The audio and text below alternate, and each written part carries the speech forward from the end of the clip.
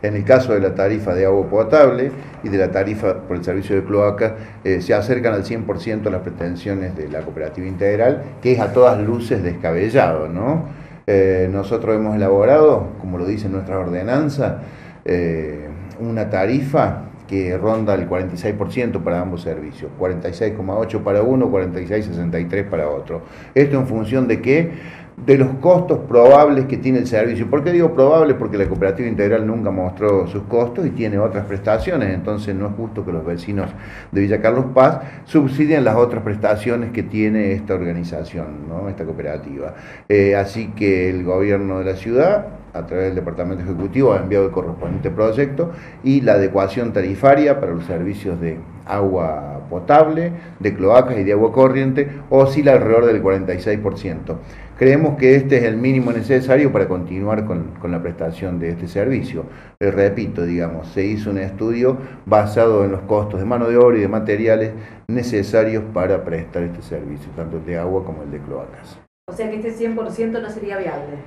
No, no, de ninguna manera. No podemos eh, castigar a la gente con, cumpliendo esa pretensión, ¿no? Además, nosotros estamos determinando la tarifa por el servicio independientemente de quién lo preste, atentos que la prestación que tiene hoy por hoy eh, de estos servicios, la cooperativa están vencidos los contratos y hay, eh, digamos, una situación judicial que esperamos pronto no sea favorable, ¿no? allí van a bajar ostensiblemente ambos servicios cuando el, municipio puede recuperar la prestación, porque le corresponde al municipio la titularidad de los servicios, eh, han sido concesionados oportunamente, cuando puede recuperar la prestación de estos servicios, van a bajar sustancialmente ambos servicios. ¿Cuánto sería ese bajar sustancialmente? Bajar sustancialmente es una baja superior al 30%. Ahora, por parte de la prestataria, ¿ofrecieron algún argumento de por qué eh, ellos necesitarían el 100%?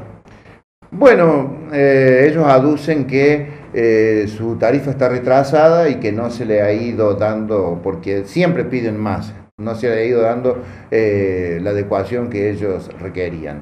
Pero esta adecuación a todas luces no tiene un sustento porque no diferencia los costos de prestación del servicio de agua de otro servicio que presta la cooperativa, que es lo que siempre nosotros le hemos reclamado. Siempre encuentra argucias eh, para obtener financiamiento. Eh, este gobierno eh, de Carlos Paz Unido, que hoy preside Daniel Gómez Gesteira, en su momento con Esteban Avilés, solicitó, digamos, la rendición del rubro obras y que lo depositaran en una cuenta de la municipalidad. Allí fue cuando la cooperativa se queda con estos 6.150.000 pesos que no puede justificar. Cuando nosotros le quitamos esa herramienta financiera, que no eran los recursos de ellos, eran recursos del municipio, ahora el municipio del año 2014 lo cobra eh, por sí mismo al rubro obras del plan de abastecimiento de agua, que esta es una tasa también, del año 96, se sancionó en septiembre del 95 la ordenanza y rige del año 96. No es nada nuevo, se cobra conjuntamente con la tasa por servicio de la propiedad. Desde ese entonces la cooperativa viene eh, cobrando capitalización primero, para todo el mundo, capitalización para los asociados luego y compensación para los no asociados. Esta capitalización ha ido creciendo desde un 23% hasta pasando por el 30, por el 50 y ahora está para el último periodo, noviembre y diciembre, de un 110%. 110% para agua, 83% para cloacas. Es inadmisible realmente. Pero bueno, por eso estamos ansiosos de una eh, pronta resolución judicial a este tema y hacernos cargo del servicio. La gran duda de los vecinos es si se paga o no se paga la capitalización, ¿no? sobre todo teniendo en cuenta el importe que está mencionando. Claro, nosotros continuamos con la postura esta de que eh, las prestatarias del servicio deben notificar su expreso desistimiento de incorporar en los cedulones o en las boletas, en las facturas del servicio de agua o de cloacas, eh, el desistimiento de incorporar conceptos extraños al servicio como capitalización, compensación, rubros societarios, como, como quieran llamarle.